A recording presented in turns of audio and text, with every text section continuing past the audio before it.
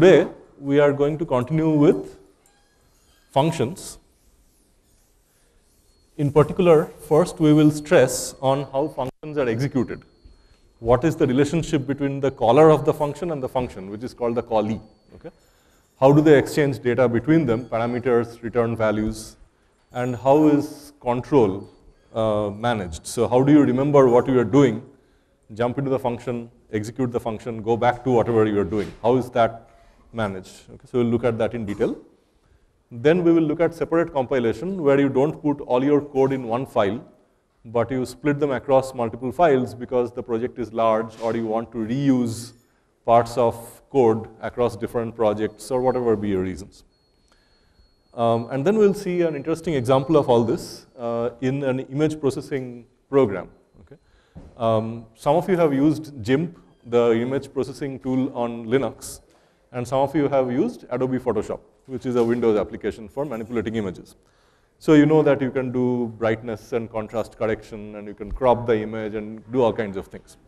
So today we'll see two examples of image processing.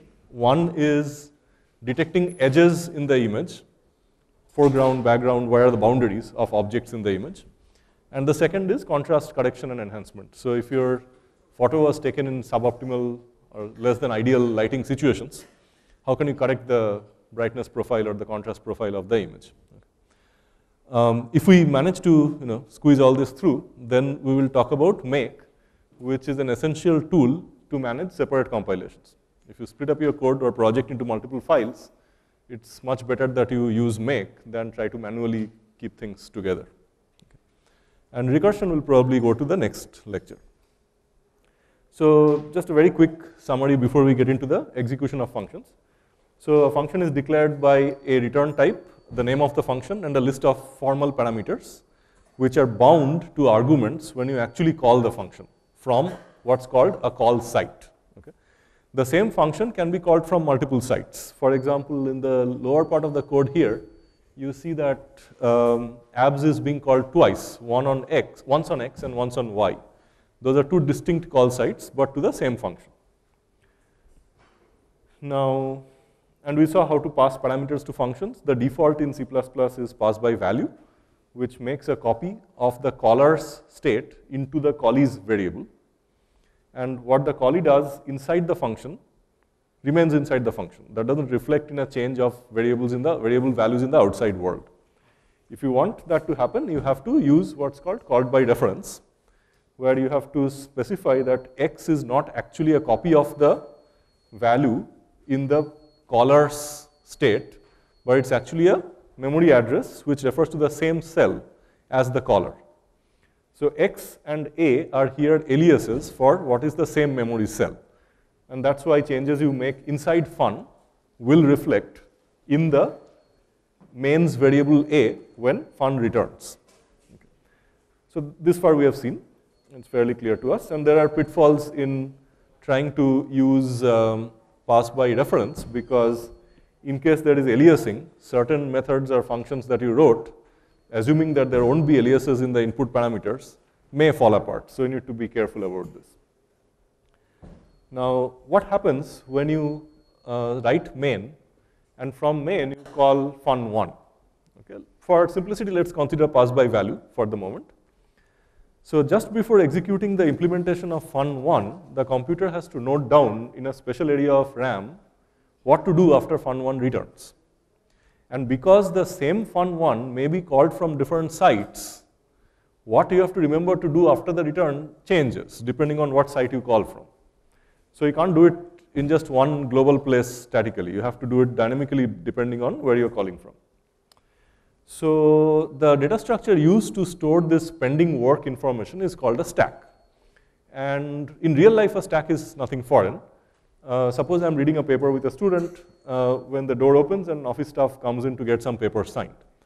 So I probably mark exactly where in the paper I was reading, maybe with a marker or with a pencil. Then I stack the paper that the office assistant brought in on top of the paper I was reading. I start signing it. At this point, the phone rings, and I suspend signing of the papers to answer the phone call. So I listen, I talk, and I have to remember you know, how many signatures I've done and how many more I've got to do from where. So I put down the phone, I remember what I was doing with the paper I have to sign. I finish signing and dating all the places, and then I give it back to the office assistant. Then that paper is popped from the stack. So you push on the stack, you pop from the stack. I pop that paper from the stack, and then I realized that I was reading a paper with a student. Then I pick up where we suspended reading that paper, and we continue. So this paradigm is called last in, first out. It's not particularly fair. It's not like a queue where people get serviced in the order in which they arrived. It's the opposite of that. Okay. So you get serviced and you're out of the system if you're the latest person to arrive. And that's the correct semantics for function call. Main calls fun1, main is interrupted, fun1 starts. Fun1 calls fun2, fun1 is interrupted, fun2 starts. Exactly like that. And the return is similar. Okay. So, so this is what a stack looks like in real life, and that's sort of my life. Um, okay. Uh, now the question is how to implement all this in a computer. And one of the key devices required for implementing and using along with the stack is the so-called program counter or the PC. So the PC is a special register that you or even the C++ compiler and runtime system cannot directly access. There is very restricted access to a PC the default action of a CPU is to look at the PC, fetch the instruction from wherever the PC is pointing in RAM, execute that instruction and increment PC by one. If there's no special instruction to change the PC, that's what the CPU does forever and ever. As soon as you start up the PC, your personal computer, not this PC, the program counter, the CPU boots up, and after that it enters into this infinite action of fetching an instruction from PC, executing it, incrementing the PC. That's what it does. The only times at which the PC is changed other than incrementing is when you do control statements like if then else or while loops. Then the PC is changed in more interesting ways. For example, here, depending on whether centigrade was less than 5 or not, PC may be changed from 5 to 6 or 5 to 7 or 5 to 8. 7 has really nothing on it. So that's how the program counter guides what the computer has to do next. In case of loops, uh, it's similar. I start off with the PC being equal to 1, and I sequentially clock it up until I reach 4, when, depending on the condition of the for loop, the PC may loop between 3 and 4 alternately, checking the condition and executing the body until it exits to 6. Okay. This is a rough statement. The, in, the, in the actual computer, each executable piece of code is much simpler than this. You can't do such complex operations in one operation. So when your program loads up in uh, any modern operating system, it's given three memory segments. One is called the code segment. That is the one that stores compiled executable code. So this is binary code as in a.out. Your program is also given a data segment, which is also known as the heap, because it looks like a really disorganized noodle of stuff, okay? Real jumble. And it is used for storing things like strings, vectors, and matrices that we have been looking at so far. We'll discuss heaps in more detail later when we talk about dynamic allocation and new and delete pointers. The third segment, which is what we will focus on today, is the stack segment.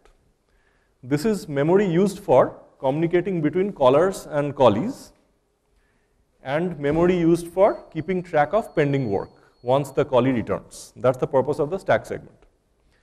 So when a.out is loaded into memory for execution, these three memory segments are separately allocated and given to your process to use. Okay. And this may now explain why if you do illegal accesses to memory, the message that's printed out is segmentation violation.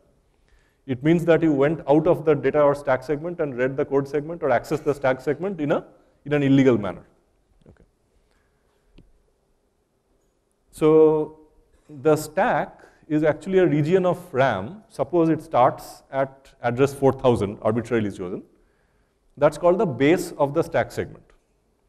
There is a special register called the stack pointer, or SP, which starts out pointing to that base, so 4000 which signifies that the stack is empty. You have not done any calls yet. Now suppose you have a routine main, a function main, which then calls fun1, which then calls fun2.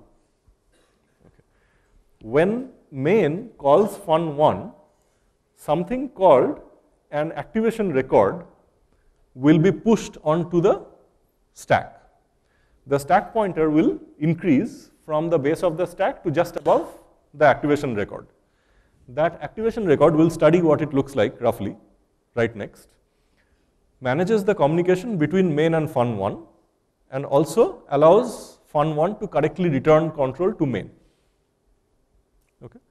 Now, at this stage, I'm executing code inside fun1 when fun1 decides to call fun2. What happens is another activation record which manages the communication between fun1 and fun2 is pushed on to the lower record, on top of the lower record, and stack pointer increases. Okay. Now the general rule is in calls and returns is that you should never need to access an activation record that is below the topmost one. You are only interested in the topmost activation record because your immediate return only affects the topmost record. That's why it's a last in, first out order. So the stack pointer grows, and suppose fun2 does not call anything else, it's self-complete. It normally completes its execution and returns to fun1. At the end of that process, stack pointer will decrease, and that record will logically disappear. And now control has come back to fun1. Say fun1 doesn't call anything more any, you know, any further. It returns normally to main, at which point stack pointer comes back to stack base and main is resumed. Okay. That's how the stack is managed. Now let's see what the activation record looks like. So first we'll look at the design of the callee and then we'll look at how the caller invokes the callee. So your high level function, the callee, is the absolute function. It says take an input parameter a, which is an int, and then return if a is positive just a, otherwise minus a as the output. So the gray box at the top shows the high level code. The activation record is a region of memory with the following fields. It has a field called in, which will hold the value of a on entry into the function. If the function changes a, then that will be reflected only in the in field. Okay, it's like another cell of memory. Then there's another named field called out. When abs returns, whatever value it's trying to return, it will write into that slot called out. This is the space to write the return value to be consumed by the caller, whoever the caller might be. Okay. And finally, there is a slot to store the code address to jump to when execution of abs completes. Okay. So suppose in memory, the compiled low-level code for abs is organized from memory address 2000 onwards. Okay. So somewhere there's a mapping table which says abs is equivalent to code address 2000. At that address, there's an instruction saying a equal to stack.top.in. So that, you know, it's, I've not discussed the dot notation yet, but intuitively it says use the stack pointer to access the topmost activation record in the stack and read its field called in, which the caller is supposed to have filled in with a value. Fine. Then instruction at address 2001 says if a is equal to 0, then bypass the instruction at 2002 and go directly to the instruction at 2003. Okay. At address 2002, you just negate A. A is like a register, or A is a register. At 2003, you have basically finished what you had to do in the abs function. So you say, well, I still have the stack pointer, SP, which gives me the top of the stack. In there, now write the value of A into the field called out because I'm passing out that value to the caller. And finally, whatever the caller passed me as the to do, where I have to continue execution, change PC to the new value stack.top.todo.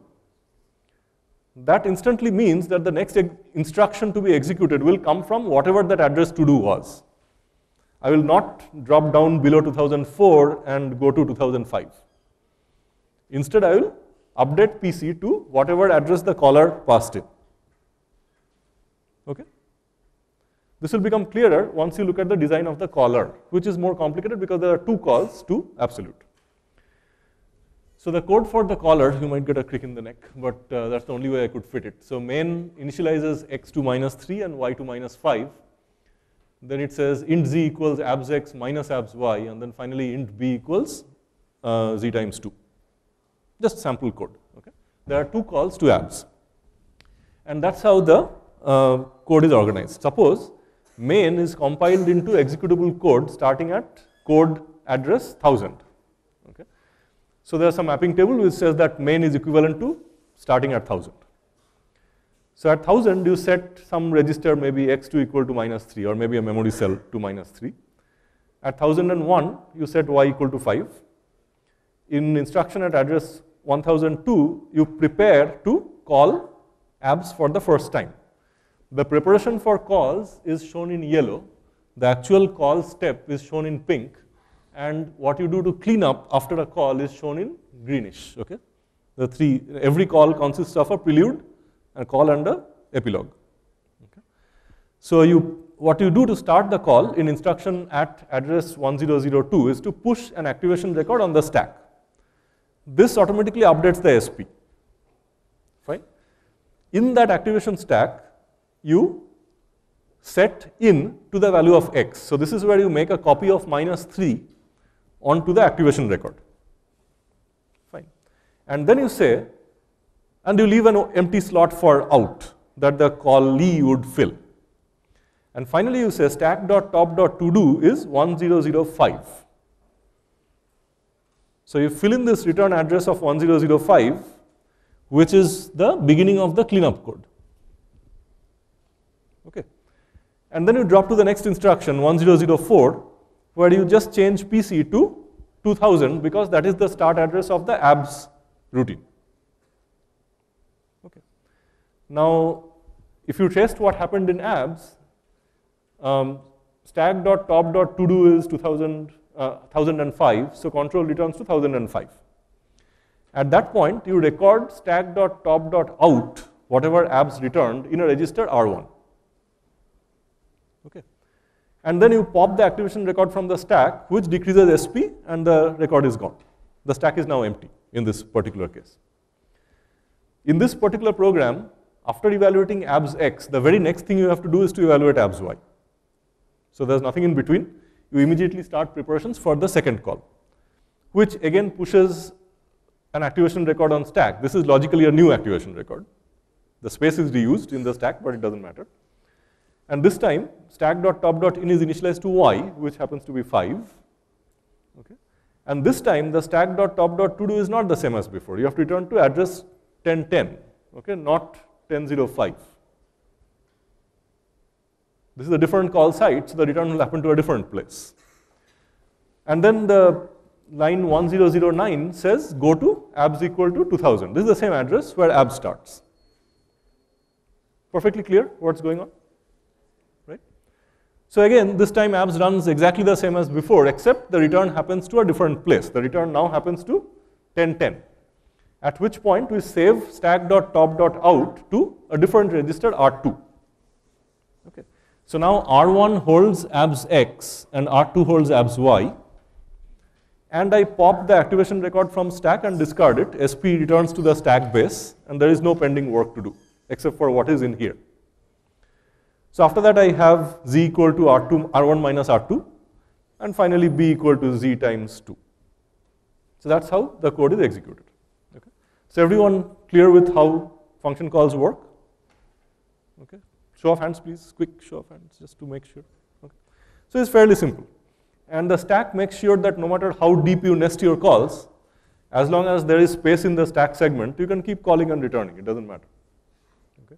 So through the execution of your code, the stack segment grows and shrinks, grows and shrinks as you nest function calls. And in the end, the stack will become empty again. Okay. The other thing that the activation record has to do, which I haven't mentioned, is to save and restore register values. Every call involves suspending the caller, executing the callee, and then resuming the caller. Remember that the CPU has a fixed small set of registers typically 32 or 64 registers.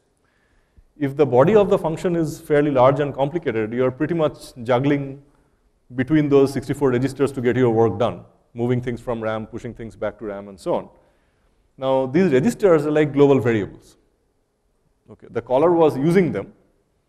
Now, if the callee starts using them without regard to what the caller was doing with them, then the callee will clobber the values in the registers. You can't that, right? The caller doesn't know what happened. Suddenly register values change, everything will become corrupt. So, um, on the activation record, we also have to allocate space to save all the registers before the call. And after the call, before the caller resumes as if nothing happened, we have to ensure that nothing happened by copying back the saved register values from the activation record in, back to the registers. So the CPU provides hardware assisted fast instructions for doing all of this. So you could tell the CPU, here's an activation record, save all registers. And that will happen very fast in a few clock cycles. Then you can say, you know, push something on the activation stack, save the PC, all these have single instructions to do. And so in spite of that, a call and a return is a substantial amount of complication, as you have seen. There's a lot of bookkeeping, allocation of storage, writing things, saving things, saving, uh, reading it out, putting it in registers. So these are all the overheads of function calls. So generally speaking, uh, if you write function calls whose bodies are extremely small, then the inefficiency of the function call itself will start becoming significant. If your function call body is very large, then it doesn't matter. So there's one mechanism provided in C and C++ called the inline function call, where the compiler tries to understand that the body of the function is very lightweight, and it avoids that explicit call through the stack mechanism. It tries to short that out by inlining the body of the function at the call site. But that makes the code larger because you're now copying one implementation in multiple call sites. So there's a trade-off, whether you want to make your code larger or you, know, you want to incur the overhead of the function call. That's something to be sensitive to uh, if you're doing very high performance coding. Okay. So now um, we will get into separate compilation units. So thus far, we have placed all our code in one C++ source file. In fact, in the beginning, we started writing our entire code in one main function, and that got really ugly. So we started splitting up things into multiple functions. Um, for example, we wrote a function to print matrices.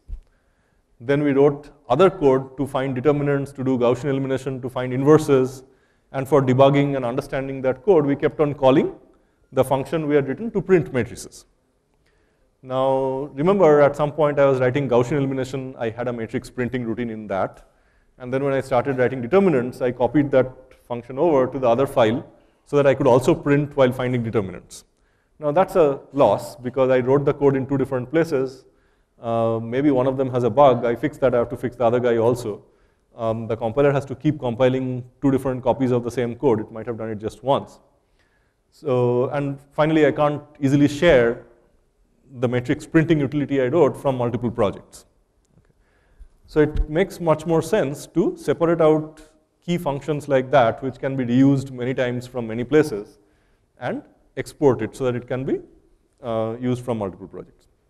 So that is done by writing two files. One is the .hpp file, okay, or h file, doesn't matter. So matrix printer.h or hpp provides a template or a signature of the function which tells potential users how to call it. The header file .hpp does not specify how matrix printing is implemented. The implementation itself is done in a file called matrixprinter.cpp. That's a normal C++ file. Now, suppose I had these two other projects, Gaussian elimination, Gaussian.cpp and matrix inversion.cpp. Those will now include matrixprinter.hpp. And now it can use any function that's defined inside that header file. So the best way to understand this is by looking at code. So let me code up all of this. I will not actually write code for printing the matrices. There will be empty functions just to show how the interfacing is done. So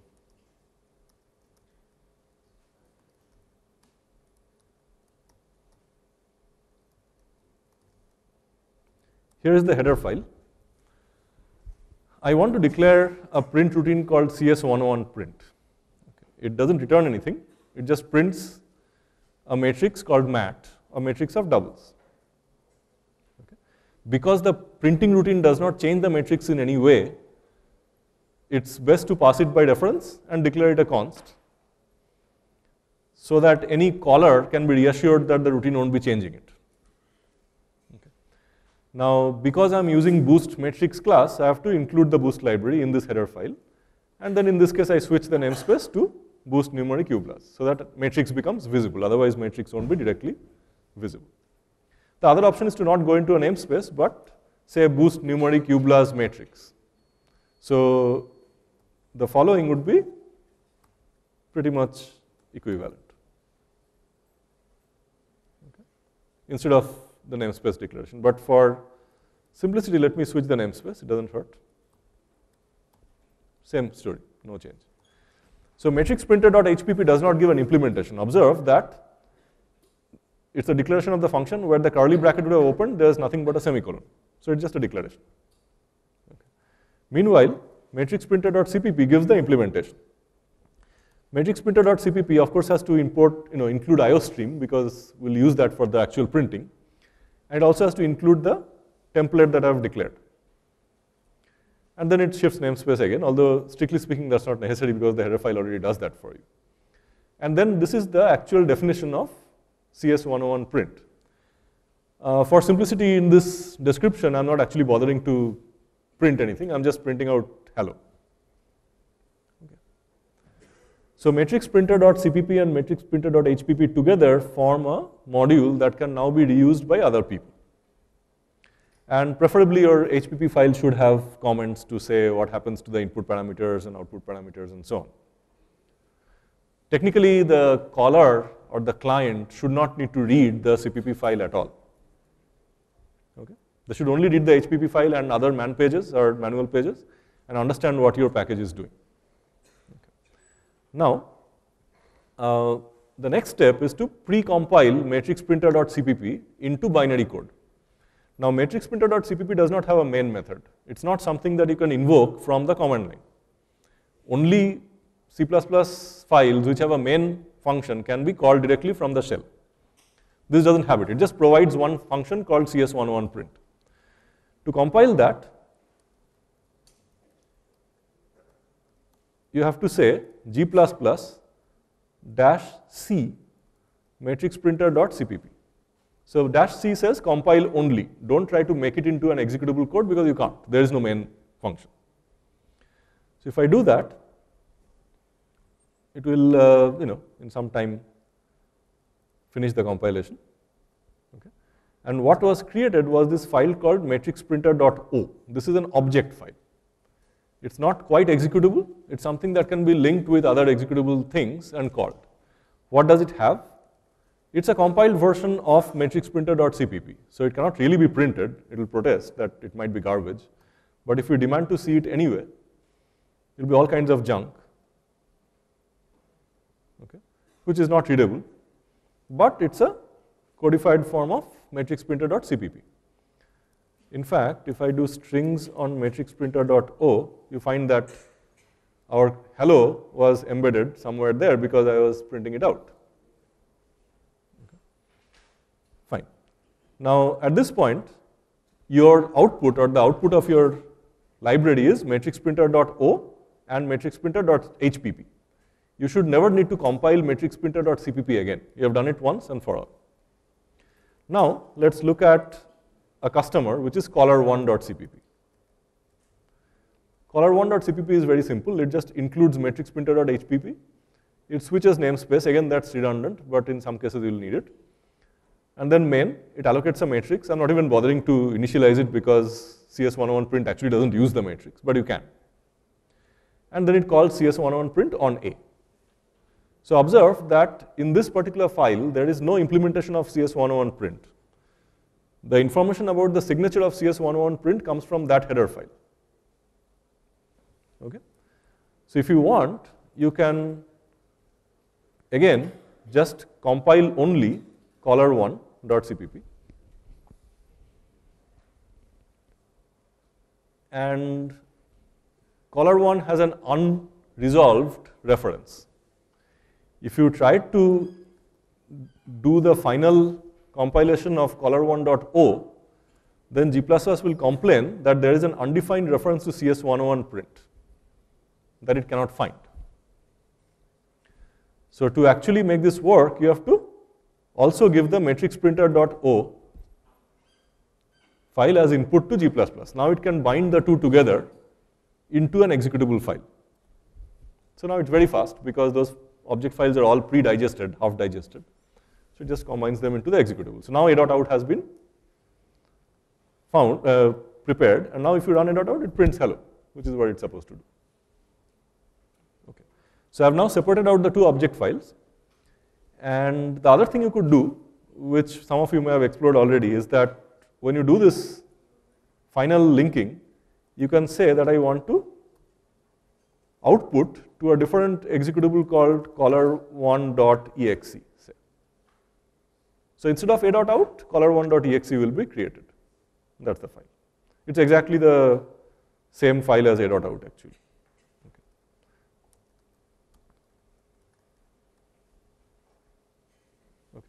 So we learned about two flags, dash C, which does the preliminary compilation of your source, but doesn't prepare it for execution. And now we can take multiple .o files and pull them together into one executable file with, a, with one main function somewhere. Okay? This mechanism is totally clear? Any questions on this so far? So of course, nothing prevents you from writing a second program called caller2.cpp and using CS101 print from caller 2, caller 3, and so on. Okay, no multiple compilations or copies are made of the CS101 print function itself. It is reused from one .o oh file.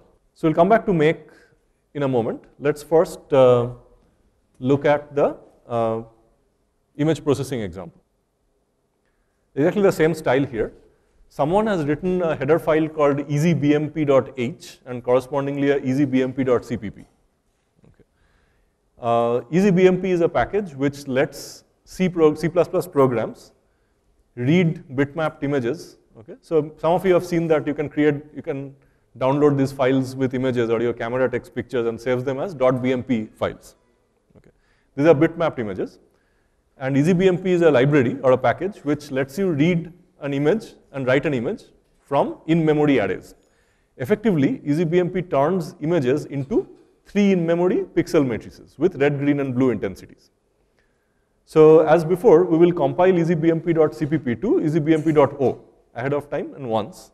And then we have these two applications. One is edgy.cpp, which does edge detection, and the other is enhance.cpp, which enhances color contrast.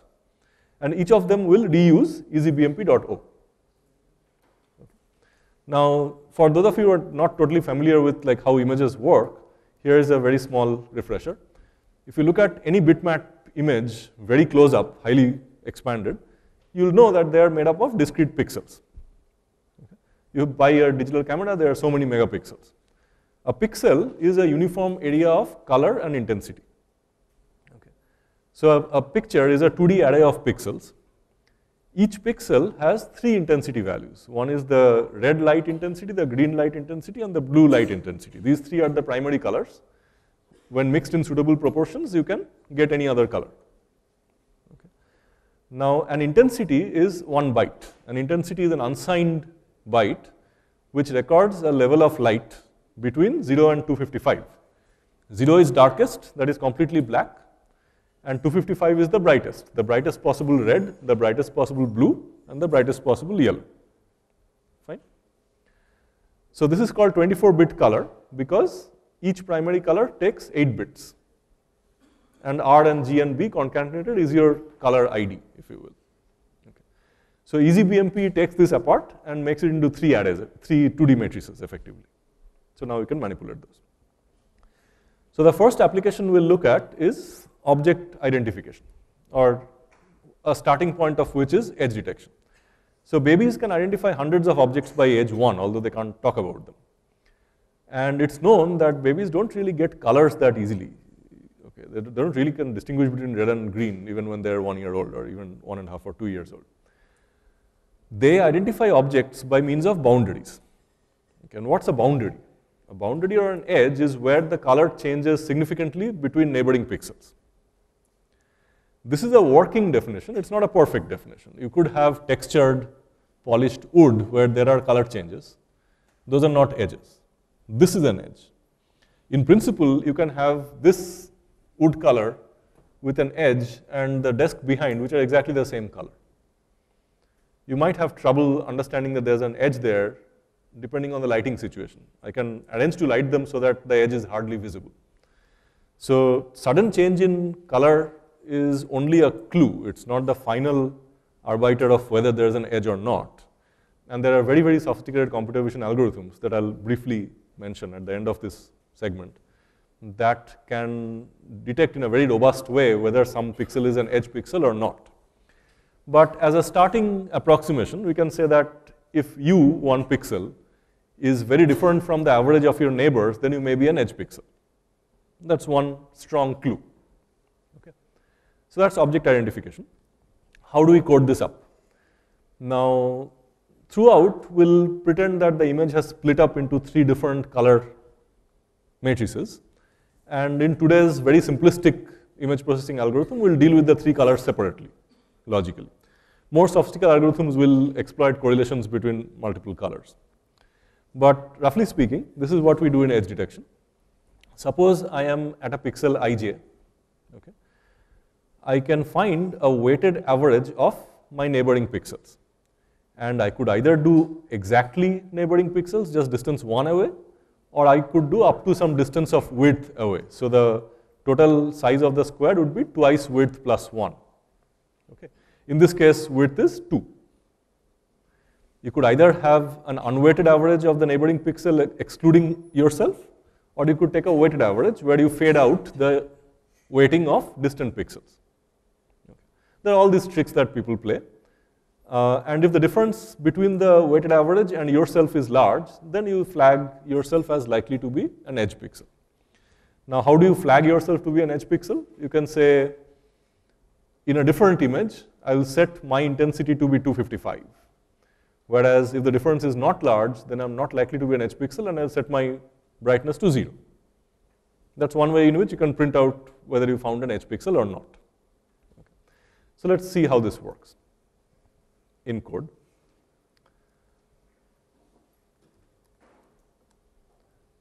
Okay. So we'll skip past filter for the moment. So here are the parameters to main. Okay. Argv0 is of course the name of the program itself. argv1 is the input image file path. argv2 is the output image file which should have only the edge pixels highlighted in them. And argv3 is half the width of the window. Okay. So for example, in this slide, width is 2. Okay. And the window goes from ij to i plus minus 2, j plus minus 2. And uh, finally, there's this argv4, which is the edge threshold. It says that if I differ from my neighbor by more than threshold, then I am likely to be an edge pixel. So these are things you can tune or you can also find by statistical mechanisms. So how is threshold used? If I give you two pixels and I give you a threshold, if the absolute difference between the two pixels is larger than thresh, then you return 255, otherwise you return 0. That's what filter does.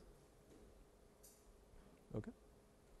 Now, um, I read in the arguments as I need, argv3 and 4, turn them from uh, alpha alphabets to integers. Okay, this comes from standard lib.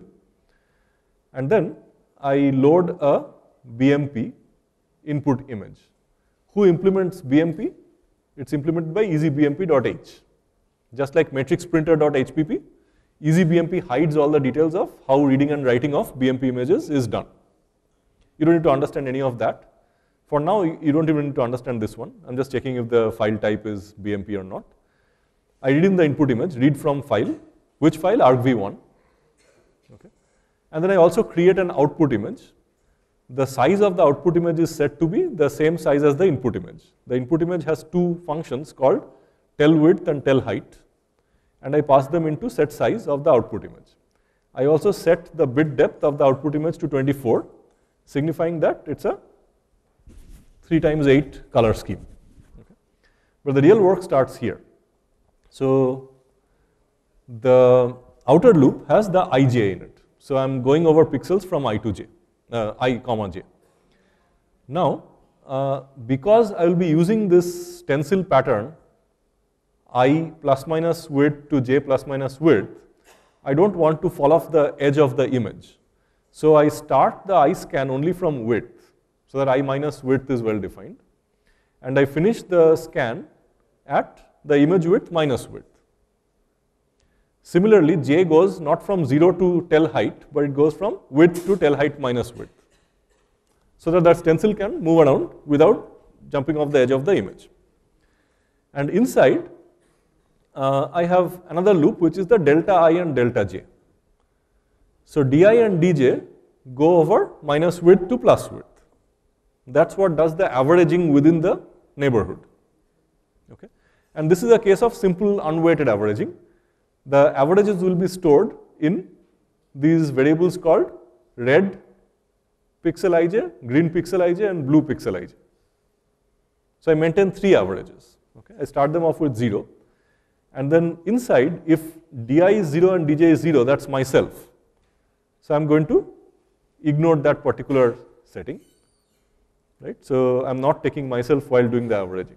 So di is 0, you know, minus 2 to plus 2. dj goes from minus 2 to plus 2. When di and dj are both zeros, I am at ij. Okay. So I omit that. And then rpij plus equal to in image dot red pixel i plus di, j plus dj. Okay. So EasyBMP for any image provides three functions, the red pixel intensity, the green pixel intensity, and the blue pixel intensity at a given pixel coordinate. The coordinate has to be i plus di, j plus dj for all of them. Okay? People are comfortably tracking this, not too fast. Okay? So similarly, green pixel ij adds on the green pixel and blue pixel ij adds on the blue pixel. After this, I have to average them. So rpij is divided by the number of neighbors, green pij is divided by the number of neighbors, and similarly. Okay. Now, in the output image, I set the red pixel to be filter of myself, the average over my neighbors, and threshold. We have already described what filter does. Filter compares between your value, the average of your neighbors, and if the difference is more than threshold, it sets the output red pixel to 255. If the difference is small, it sets the red pixel to 0. Fine? And similarly, I do that with all the three colors. And then I write the output image to a, different file. Okay. So how many people are clear about, at least in principle, what the code does? Of course, you are not familiar with EasyBMP, but you can do that offline. The basic point of EasyBMP is load a image file into RAM when it becomes three matrices. And now I can access the red matrix ij, blue matrix ij, and green matrix ij. That's all. And I can write back and save it to a file. Comfortable with it? So let's uh, run this and see what happens.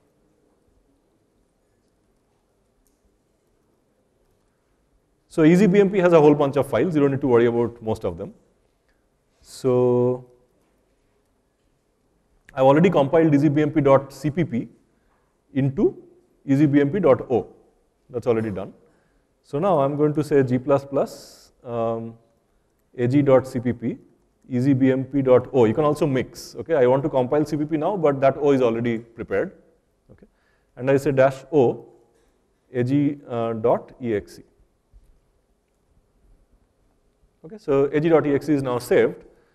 And remember, ag.exe requires four input arguments, input file, output file, and two parameters. Okay.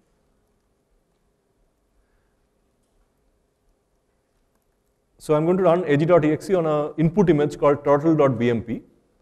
And I'm going to save the edges to a new bitmap image called edges.bmp.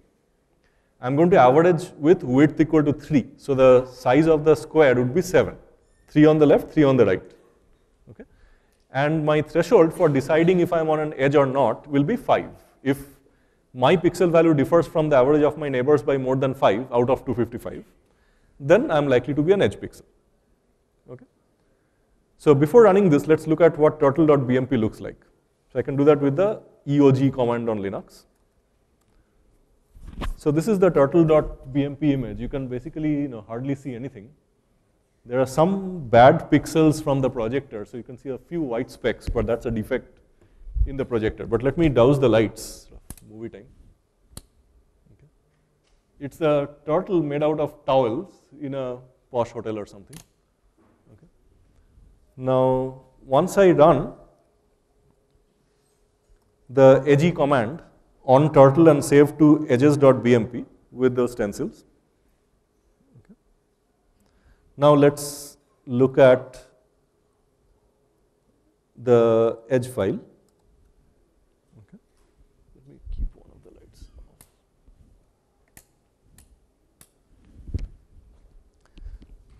So here is the set of edges that are found in the image.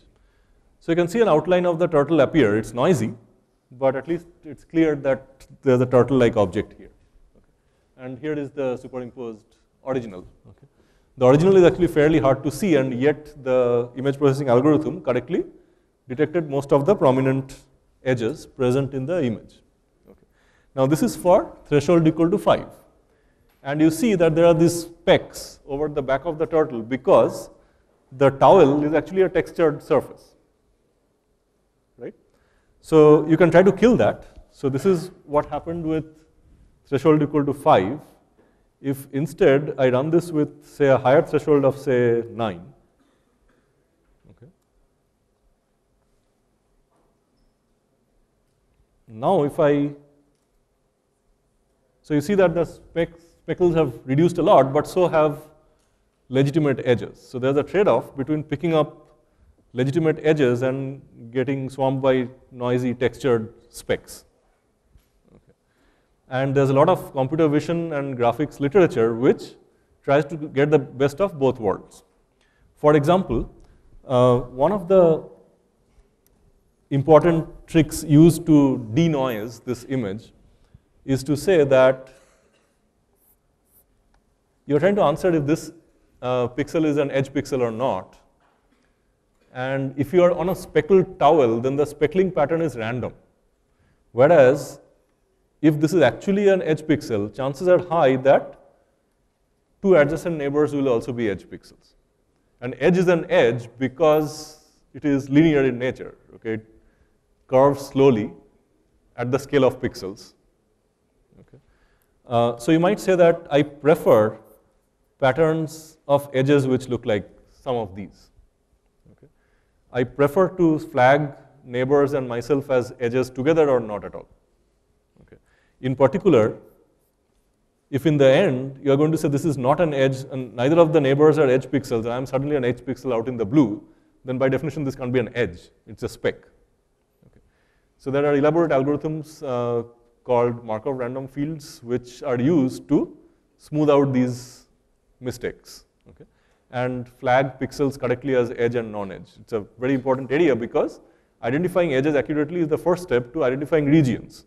And identifying regions is the first step towards identifying object boundaries. Okay.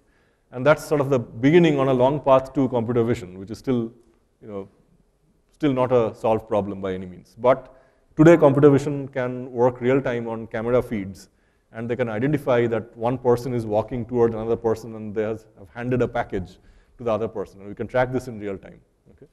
Um, that, of course, requires a huge amount of computation. but one thing you observed is that at the lowest level, the image processing applications are extremely regular in nature. They involve extremely regular local processing of an array of pixels or a matrix of pixels. So that's why in computer vision and graphics, they build special purpose processors which can do these kinds of matrix operations very, very fast, much faster than your general purpose CPU can do. Okay, and those are graphics chips, special chips, which are used to drive your display or to process camera input. That's special purpose hardware which can do these things much faster. Any questions so far? So that's how you do edge detection. Second example is contrast enhancement. So the template is again very, very similar. I'll define what balance is in a moment. Now, what is a poor contrast image? We already saw an example of that. Turtle.bmp is a poor contrast image. You can hardly see what's going on here. How do you find out you know, what the distribution of pixel intensities is, we can pass it through a tool called GIMP in Linux. So GIMP will take a couple of seconds to fire up.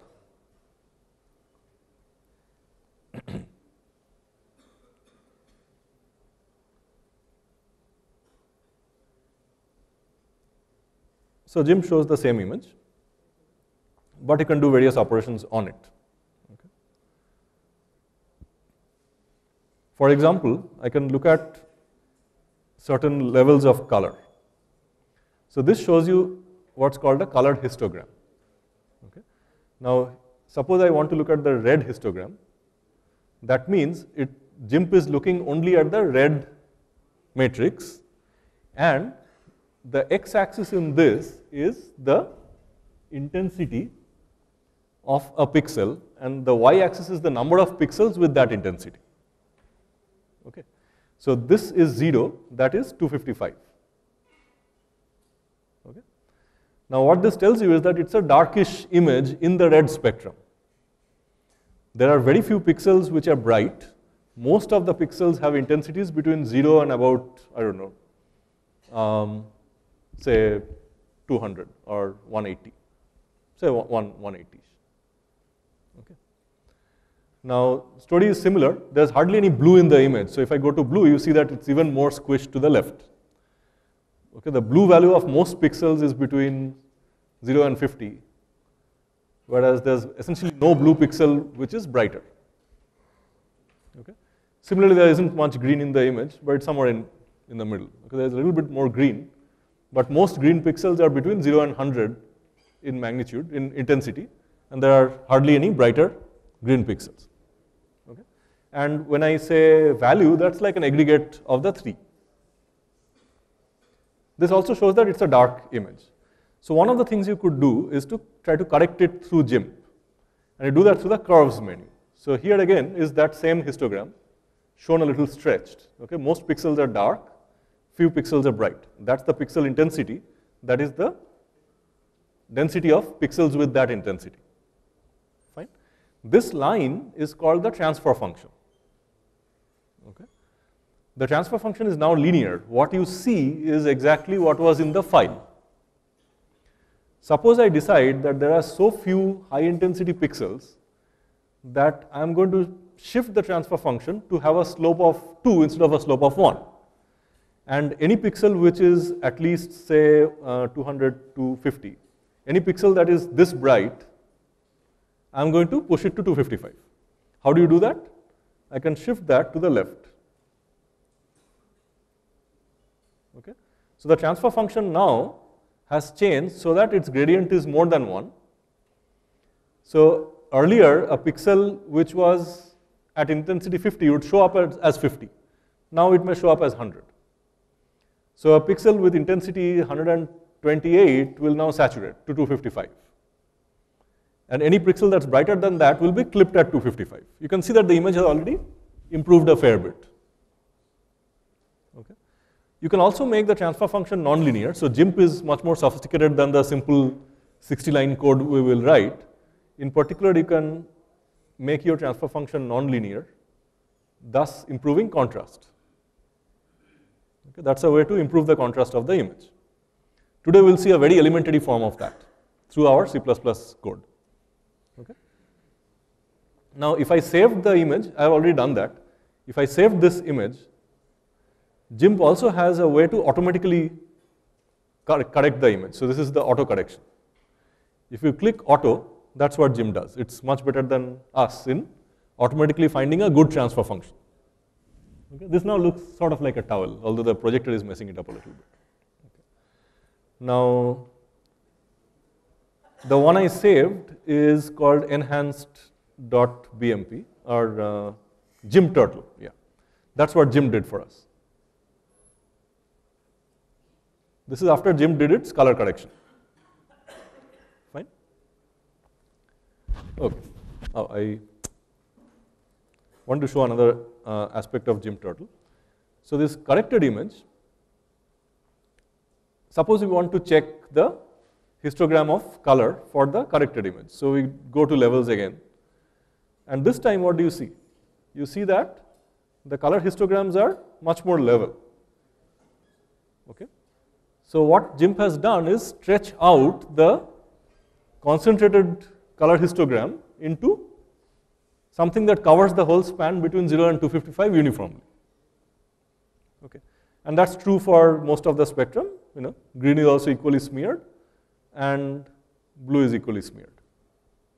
Okay. So think of it as you know uh, JEE or GRE or GET percentiles. The absolute marks, depending on how hard an exam was in a given year, may be bunched around a few values. But by reporting the result of the exam as a percentile, we stretch out the spectrum. So only the rank matters, not the absolute marks you got. So what GIMP is doing is basically finding the rank of brightness of a pixel and then equally smearing the intensity over the ranks. Fine? So that is exactly what the routine balance does. Okay? It inputs the color histogram and it creates a transfer function, which is that line. It automatically warps that line so that after the warping, the distribution of marks becomes uniform between 0 and 255. Okay. Everyone clear? At least in principle what balance is doing? I don't have time to go into balance in detail in the class. You can read the function offline. Okay. It just transforms the marks through that curve that we did by hand so that after transformation, people's marks become uniformly distributed between 0 and 255 in all the three colors. Fine? Other than that, it's a very simple routine. I again open a BMP image, I read it from a file. In the first pass, I just build color histograms. What's a color histogram? It's a vector of integers. Its domain, the indexes, can range between 0 and 255. So easy BMP byte is a byte. Okay, they just defined it on their own because on different architectures it could be different. And uh, so it's just between um, 1 and uh, 0 and 255. And inside each histogram, it's a count of how many pixels had that brightness or intensity. So once I can read a red pixel, I read the red pixel at i and j. I use the value of the red pixel, which is between 0 and 255, as an index into the red histogram and I increase that to say that the number of pixels with intensity red pixel ij has increased by 1 because I just saw that pixel. Similarly with the green histogram and the blue histogram. Okay. It's like counting how many people got 43 out of 100 in class. Okay. Once I form the color histograms, I actually do the balancing. So balance takes as input a histogram and outputs a transfer function. Okay? That's exactly what GIMP was doing. It showed you the histogram, which was initially compressed to the left, and it also showed you the transfer function, which you could force by hand. This one is automated. The balance routine inputs a histogram and outputs what it thinks is a good transfer function from input pixels to output pixels, intensities. Okay. And finally, in the second pass, now that the transfer function has been calculated, I just scan over the image again, the i and nested loops, I read the red pixel, original one, I transfer it through the transfer function, red transfer, and I write the red pixel to the transferred intensity. So I correct the intensity and I write it back into the same place. So this red pixel and green pixel and blue pixel ij, they are exactly like boost matrices. There's no difference. Okay? So once I write it back, I can save that transformed image to a different file. So the input to main is just an input file and an output file. There are no tuning parameters so far. Okay. So let's compile this one. So in this case, I'm going to compile enhance.cpp with easybmp.o and save it in enhance.exe. So it's compiled. Now I say enhance.exe. Input is again turtle. Output is enhance.bmp. It's pretty fast. And now if I do EOG of enhance and turtle, let's see how they compare. This is the enhanced image. That is the original image. Yeah. So in your code, when, when did you define the function balance? Huh, it's defined at the end of the same file. So you can check what I do. There's some small formulas that we, I don't want to get into right now. Okay. Is this fine? So balance turns a color histogram into that transfer function. And then in the second loop, I transform pixel intensities from their original values, which is low contrast, to the final value through the transfer functions. Red expert, green expert, and blue expert. Okay. And the result, as you can see, is this image, which has far better contrast than the original image. In fact, if I use GIMP to load up the our home industry enhancement, GIMP on enhance.bmp, okay, you'll see that we're not doing badly at all compared to GIMP's own professional work. If we go to levels, you'll again see that the values of, you know, there's some concentration, but overall it's not too bad. I, I have smeared out the range compared to the input images. Okay. Again, there is no single algorithm for doing best enhancement. Okay. You can, you can actually uh, enhance images with lots of algorithms. That's also a very, very active uh, area of research, uh, motivated strongly by medical imaging. Okay. So an image can be captured under less than ideal circumstances because the scene lighting was not good, for example, in that uh, turtle scene, or the camera CCDs, the charge coupled devices that sense the light are not calibrated with regard to the room lighting. Or it could be because you are doing medical imaging and the patient's tissue density and water content in the tissues is not ideal for the X-ray or the MRI imaging that you are doing. Some of you might know that for some of the MRI and fMRI imaging, you have to inject the patient with a coloring agent so that the coloring agent diffuses in their arteries and veins and tissues and that is then deflected or absorbed by the, you know, th those deflect or absorb the X-rays, and that leads to better contrast images. It's called a contrast injection. Okay. Now, after this, it is vital to use statistical techniques to correct the image. Okay. Um, a surgeon who is looking at the left image, which may be the native image as captured by the X-ray machine, may not pinpoint where the tumor is that the surgeon is about to operate on. Whereas you know, with good statistical techniques for doing contrast enhancement, you may have the image as in the right-hand side, which would correctly reflect tumors or other growths that the surgeon is working on. So in medical imaging, image enhancement is a life and death job. Okay, it's really important. So it's a multi-billion dollar business. There are companies like Siemens and General Electric, G who spend billions of dollars designing their MRI machines and then writing algorithms to do contrast enhancement in exactly the right way to help surgeons. Okay? So we just today saw just the beginnings of how to do image processing, but there's a long way to go. So that's another example of where 2D matrices are very useful. Okay. So that uh, finishes about our uh, separate compilation, but now we'll start looking into how to use make to control these projects. So before you know it, you have split up your big project into hundreds or thousands of files. And so far, I was typing by hand uh, g++, this file.cpp, that file.o, write the output to some other file. By the time your project has even a few dozen files, you have changed one file. Suppose I, I have, so here's a uh, picture of what depends on what. So remember I wrote this library called matrixprinter.hpp and matrixprinter.cpp to go with it. Matrixprinter.cpp and matrixprinter.hpp were used to generate matrixprinter.o. This was the library file which you can then link with Gaussian.o to form Gaussian.exe. Earlier we were using caller1.o and caller1.exe, but it's the same story. Now in this case, suppose I have modified Gaussian.cpp you should not need to recompile matrixprinter.cpp. Conversely, on the other hand, you know, if I have updated my matrixprinter.cpp to do more pretty printing, and I don't need to recompile Gaussian.o, but this path has to be redone. Okay? So there's this abstract sense of a directed acyclic graph of dependencies. This arrow tells you that Gaussian.exe depends on Gaussian.o and matrixprinter.o. Anytime any one of those matrices change, I should recompile Gaussian.exe. Okay. So anytime any node in this graph changes, I have to regenerate anything reachable from this node right up to the goal. The goal is called Gaussian.exe. Okay? So this graph is codified into a file called a make file. The system itself provides no consistency check between the CPP file and the O file or the A.out file.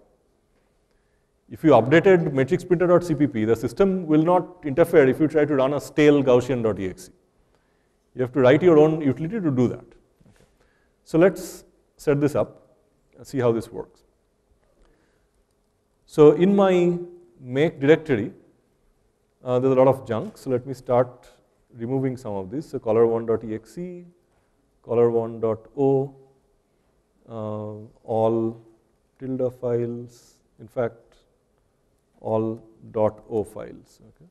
So I'm left with only matrixprinter.cpp, matrixprinter.hpp, and caller1.cpp. Those are the sources.